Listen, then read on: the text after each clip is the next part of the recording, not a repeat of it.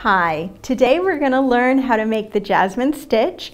The jasmine stitch is used on this peony pocket pouch and you can see that it was done with different colors so the stitch really pops out but the technique for the stitch is the same whether you're making a bag or a dress or a sweater and so that's what we're going to learn how to do today is the jasmine stitch. For this tutorial, we're gonna use Comfy, and often when we do tutorials, we use a heavier weight yarn, but we found with this stitch, it's so puffy that it works best in lighter weight yarns, and so we're gonna use um, the worsted weight that was actually used to make the bag.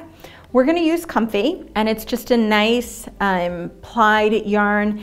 I don't recommend super fuzzy yarns for this technique because the technique is puffy. And um, if you use a super fuzzy yarn, you will lose a lot of the definition and you don't wanna add a lot of bulk to an already puffy stitch. Every jasmine stitch is gonna start with a um, foundation puff stitch and for this project, we're just gonna chain one. We're gonna elongate the loop. You should do your best to make the loop the same length every time. It is a somewhat forgiving stitch, so if it's not the same length every time, it's not gonna be the end of the world, but do try to make it about the same length. So we've elongated the loop, we're gonna yarn over, and then we are going to work back into our chain stitch, and then we're gonna yarn over and pull up a loop, and we're gonna make it the same length as the first elongated loop. So now we've got three loops on the hook.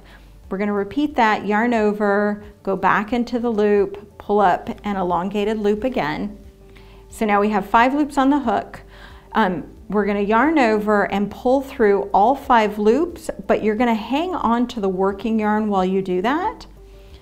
So we've captured our working yarn, we've pulled through. Now you're gonna go back through that loop that you held onto of your working yarn, yarn over and pull up a loop so that there's two loops on the hook, and then yarn over and pull through both of those loops. And then I like to snug it down pretty tight um, so that the loop doesn't stretch. Another option would be to actually put a chain stitch at the top to secure it. If you do decide to do a chain stitch, it's not gonna add a lot of length to your stitch, so it's really not gonna substantially change the project. It just makes it a little bit more secure and ultimately it's how, what you think the final fabric should look like. If you feel like it's not tight enough with just the one yarn over, then go ahead and put a chain stitch at the top. So we're gonna make another foundation um, puff stitch. So we're going to elongate the loop again, and now we're gonna work into that stitch that we made at the top of the previous puff. So elongate the loop, yarn over, work into that stitch that's at the top, yarn over and pull up a loop. It's also gonna be elongated, yarn over again, yarn over, or yarn over, go back in and pull up one more loop. So we have five loops on the hook yarn over, draw through all five loops, but make sure that you hang on to that working yarn. And then go back into the working yarn, yarn over and pull up a loop, and then yarn over and pull through both of those loops. And then I like to tighten that down just to secure it. So you can see where we're working into that. This loop can become large. If you chain, it sort of locks this down so that it doesn't grow quite as much if you're concerned. Okay, so now that we know how to make our foundation puff stitch, I've gone ahead and made 12. You will find when you um, try this technique, you need several puff stitches to start with. It's hard to see how the flower petals play out until you've got several puff stitches to begin with. So I've got 12 here and, um, and we're gonna make one more um, foundation puff stitch before we start turning back and making our actual jasmine stitches. It's the beginning of the jasmine stitch, but it's worked like the foundation puff. So we're gonna elongate the loop, we're gonna yarn over, and then we're gonna go into the top of that stitch, just like we do for the foundation, um, yarn over and pull up a loop. So I've got three loops on the hook, yarn over, go back in, pull up again, and now we've got five loops on the hook.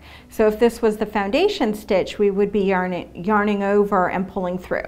But we're gonna do the jasmine stitch. So now what we're gonna do is we're gonna turn and we're gonna work down at the base of this puff stitch.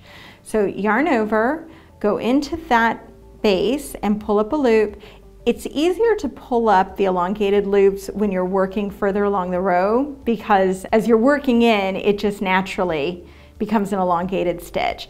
So I've got two on the hook. I'm gonna yarn over and I'm gonna pull up another loop. So now I've got four on the hook. Yarn over and pull up another loop. So now I've got six on the hook plus my first five. So I've got 11 loops on the hook.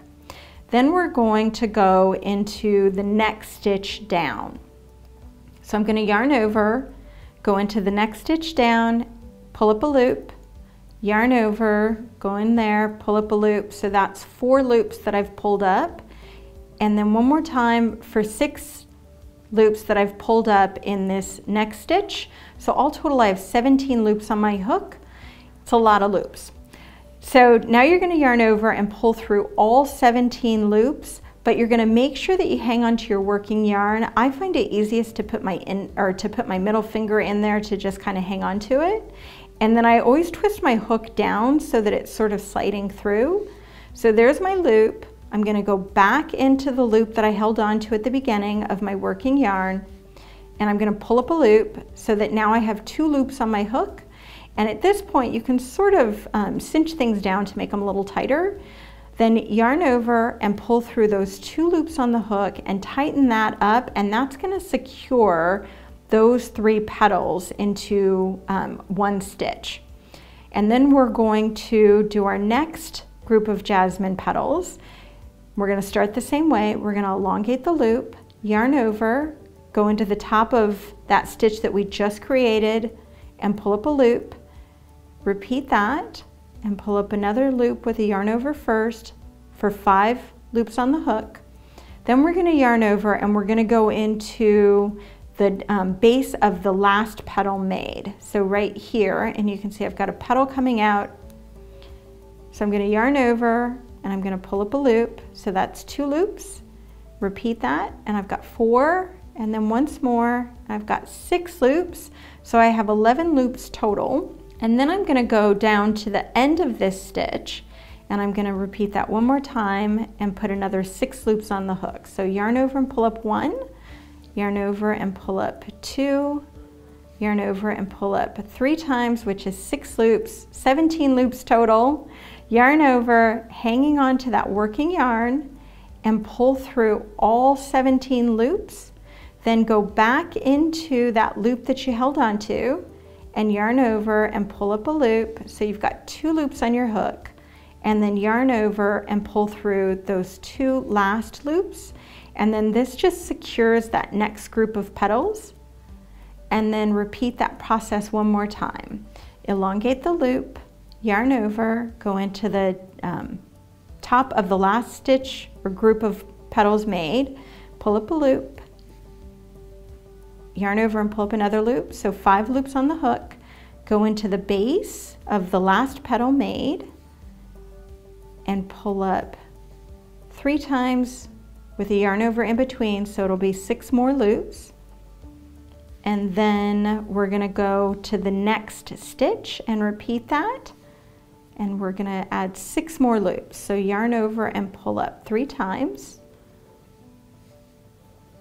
So 17 loops on the hook, yarn over, hanging on to that working yarn, pull through all the loops, go back through the loop that you held onto, and pull up another loop. So two loops on the hook and yarn over and pull through both of those loops to secure the top of that petal. So I'm gonna go ahead and finish this row.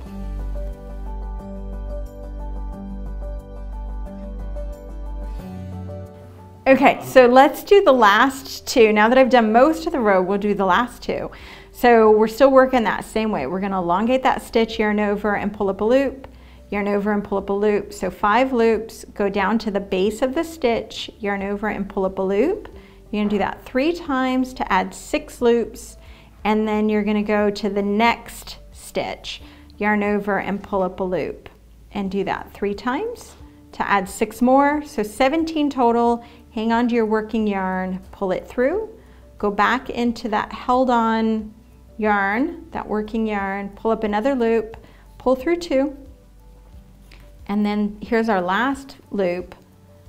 So we've got five loops, and then base of the stitch, add six more loops, and then the very end, we're gonna pull up three times, adding six more loops, and then yarn over, pull through everything, go back into that held yarn, yarn over and pull up a loop, two loops on the hook, yarn over and pull through two. So now that I've completed this first row, you can sort of see the beginning of the petals. And so when you go to work the next row, you're always gonna start with that foundation puff stitch. And so you're gonna turn your work, you're gonna pull up an elongated loop, you're gonna yarn over, and you're gonna pull up, you're gonna yarn over and pull up twice so that you've got five. You're gonna yarn over and pull through all of those. And then uh, holding the working yarn, you're gonna go back into that and pull up a loop and then pull through two. So that creates your first puff on the end. And then you're gonna begin your jasmine stitch by yarning over and pulling up a loop in the top of that foundation. So now I've got five loops. Then you're gonna go into the base of that stitch, yarn over and pull up three stitches adding six stitches because of the yarn overs, and then you're gonna go into the next stitch. Yarn over and pull up three times, adding six more stitches, 17 loops on the hook. Yarn over, make sure you hang on to your working yarn, pull through all 17, go back into that working yarn, yarn over and pull up a loop, so two loops on the hook, yarn over and pull through both of those loops, and then you can cinch that down to secure that stitch. And then um, you just keep repeating that process, making a ton of loops as you work your way across the row, making little petals. And then when you're done, you have what looks like flowers. Um, the stitch is fiddly and I highly recommend hanging on to the yarn as much as you possibly can so that you don't lose it. Um, but it's also a really forgiving stitch. Okay, so now that I've put this down, you can see um, when you work across the next row, you'll just, you'll just continue to make um, jasmine stitches starting with that foundation puff stitch and it just creates these lovely little flowers. You can see I've got a full flower here and then only partial flowers across the row. But if I were to continue to make it, I would end up with all of these lovely peonies. That's what we're calling them in the peony bag, but you can see all these little jasmine stitches. And because these were made with a contrasting color, they really pop out. But that's all that there is to making that jasmine stitch. It's just a bunch of loops. You just connect it. You just have to make sure that you're always hanging on to the yarn, that you're not gonna lose your loops. And make sure that when you're securing it, it's nice and tight because that helps secure the stitches to keep the petals nice and tight as well. So that's it for the jasmine stitch. Until next time, happy stitching.